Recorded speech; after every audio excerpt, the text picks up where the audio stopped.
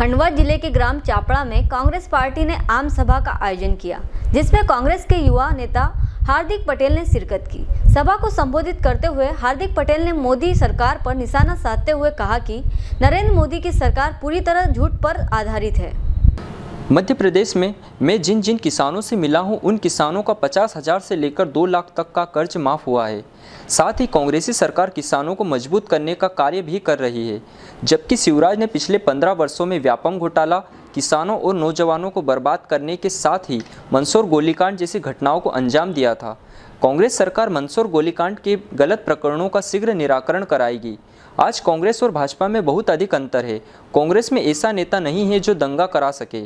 लोगों को भड़का सके, पैसा देकर पब्लिक ला सके। हमारे पास पढ़े लिखे देश की अर्थव्यवस्था को मज़बूत करने वाले नेता है। खंडवा से संवाददाता की रिपोर्ट। पार्टी ने उस वक्त भी किया था, अभी भी कहा जल्द से जल्द जिन किसानों पर गलत मुकदमे लगाए गए वो वापस लिए जाएँगे और उसकी प्रक्रिया बड़ी जल्दी से शुरू हुई अब आप देखिए सरकार बनते ही दो महीने में आचार संहिता लागू हो गई है। तो बिल्कुल यहाँ के एक भी किसानों को परेशान नहीं होना पड़ेगा। यहाँ के नौजवानों को परेशान नहीं होना पड़ेगा।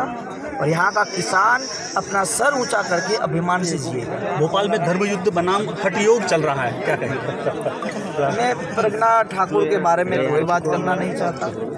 क्योंकि हम मुद्दों पर राजनीति करते हैं, वो देश को बांटने का काम करते हैं, भारतीय जनता पार्टी वाले लोग, कांग्रेस देश को मज़बूत और एकजुट बनाने के लिए काम करते हैं।